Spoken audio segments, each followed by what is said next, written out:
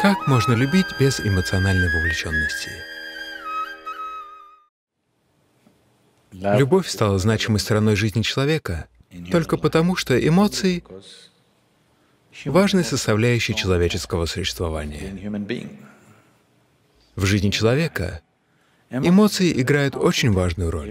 Несмотря на то, что в наше время люди считают себя интеллектуально развитыми, даже сегодня самым влиятельным аспектом для людей являются их эмоции. Да или нет? Это наиболее значимый аспект в их жизни. Они считают себя интеллектуально развитыми, но их интеллект не настолько интенсивен, как их эмоции. Не обязательно это любовь или сострадание, это может быть гнев или раздражение. Все это эмоции. Так что эмоции — это очень важная составляющая человеческого существования. Речь лишь о том, какие эмоции вы хотите испытывать. У вас есть ум? У вас есть ум? Да. Вы хотите, чтобы он был острым или притупленным? Почему? Так он работает лучше, не так ли? Также, если вы испытываете эмоции, вы хотите, чтобы они были приятными или неприятными? Приятными, потому что так они лучше работают, не так ли? Любовь означает, что вы сделали свои эмоции приятными. Я хочу любить, не испытывая эмоций. Это очень европейский подход.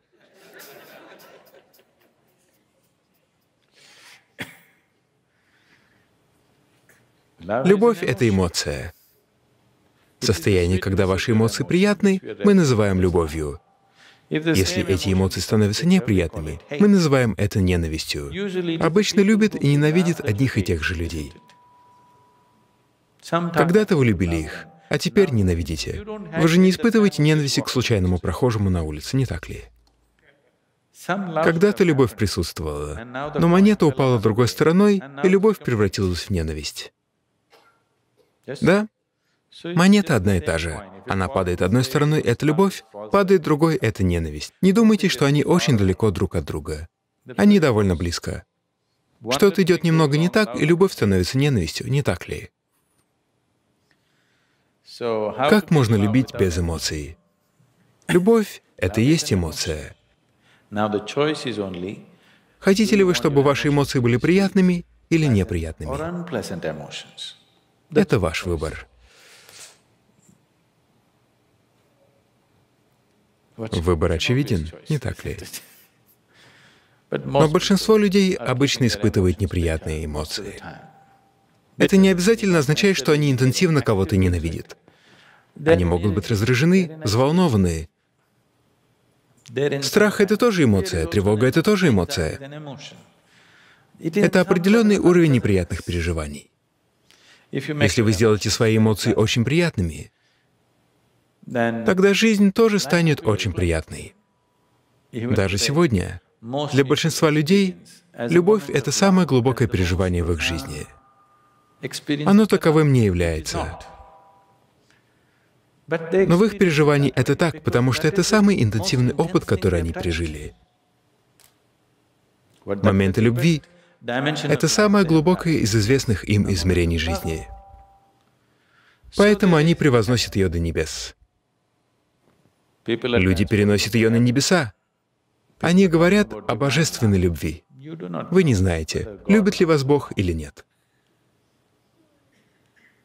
Люди способны на любовь, если хотят этого. Собака способна на любовь. Если люди вас не любят, вы заводите собаку. Если вы заводите собаку, любовь на 12 лет вам гарантирована.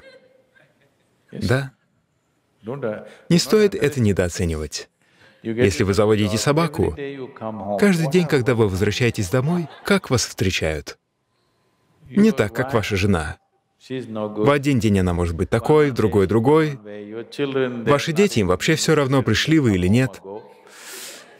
Но собака, с какой радостью она приветствует вас каждый день. Никто больше на такое не способен, не так ли? каждый день, неизменно. Она никогда не будет безразличной. Это так заряжает. Определенно, собака — это любовь. Возможно, ее просто неправильно назвали. Знаете, опечатка.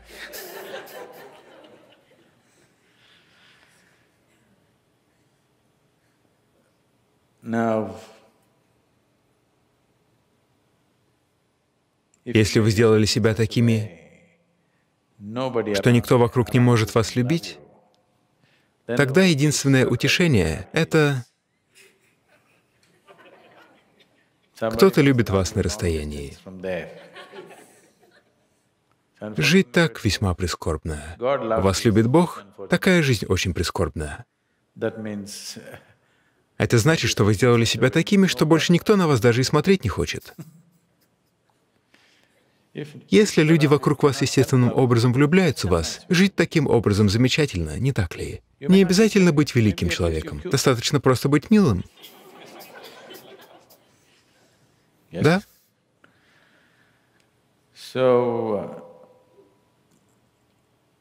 Так что в йоге мы не делим эмоции на любовь, ненависть, счастье, несчастье.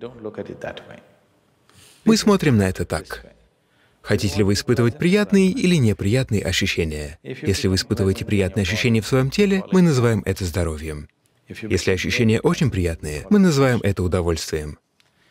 Если ваш ум становится приятным, мы называем это умиротворением. Если он становится очень приятным, мы называем это радостью. Если ваши эмоции становятся приятными, мы называем это любовью. Если они становятся очень приятными, мы называем это состраданием. Если ваша жизненная энергия становится приятной, мы называем это блаженством. Если она становится очень приятной, мы называем это экстазом. Если окружающая вас обстановка становится приятной, мы называем это успехом. Все другие названия лишь создают путаницу. Должен ли я быть любящим? Не нужно быть любящими. Просто пусть ощущения в вашем теле, уме, эмоциях и энергиях будут приятными, и вы станете прекрасным человеком. Если вы испытываете приятные эмоции, и кто-то окажется рядом, вы сможете разделить с ним эти эмоции. Если вы испытываете неприятные эмоции, вы обязательно поделитесь этим с людьми, не так ли? Да или нет? Вы не можете делать то, чем вы не являетесь.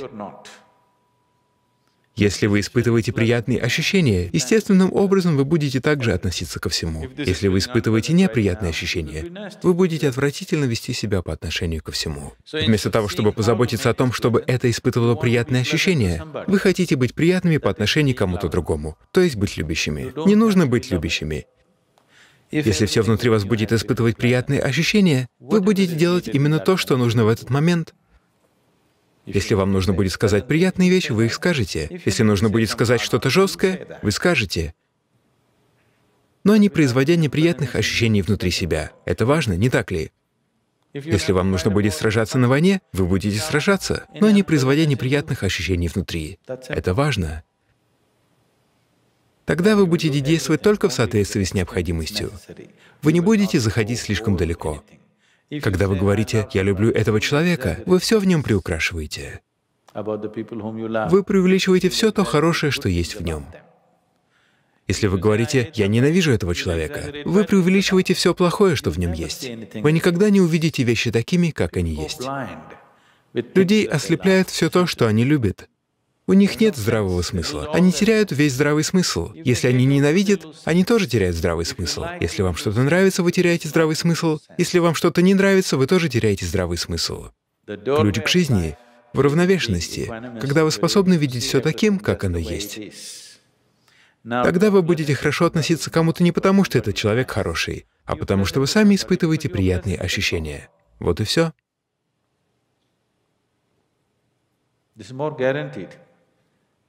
Это более гарантированная любовь, не так ли? Вы хорошо относитесь к кому-то, потому что вы испытываете приятные ощущения. Если я хорошо отношусь к вам, потому что вы милые, и завтра вы не будете такими милыми, тогда все изменится, не так ли? Если ваше ощущение зависит от чего-то внешнего, то испытываете ли вы приятные или неприятные ощущения — это дело случая. Поддерживать приятные ощущения внутри вот этого — ваше дело. Если это испытывает приятные ощущения, их же оно и будет производить, с чем бы оно ни взаимодействовало. Но сейчас вы сами не испытываете приятных ощущений, но пытаетесь хорошо относиться к кому-то. А это зависит от многих условий.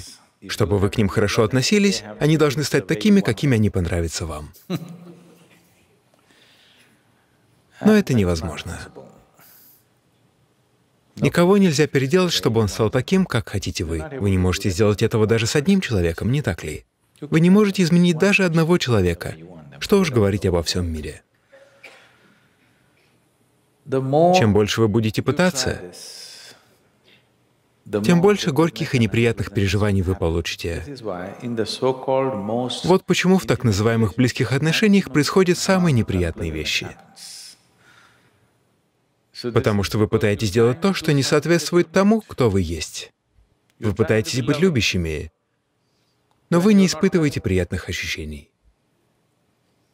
Если вы испытываете горечь и при этом пытаетесь быть любящими, вы увидите, что это уничтожит вас, не так ли? Да или нет? Вы уже проходили через все это, не правда ли?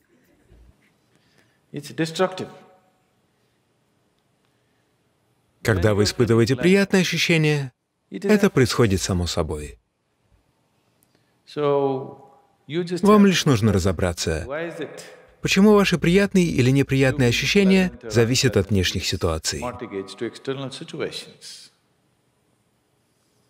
Если вокруг меня только неприятные люди, как я могу быть приятным?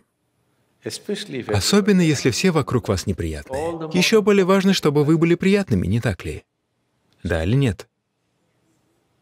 Если все вокруг вас не в себе, разве не становится еще более важным, чтобы вы испытывали приятные ощущения? Если все вокруг вас больны, разве не важно, чтобы вы, по крайней мере, были здоровы? Хотя бы для того, чтобы просто позаботиться о них.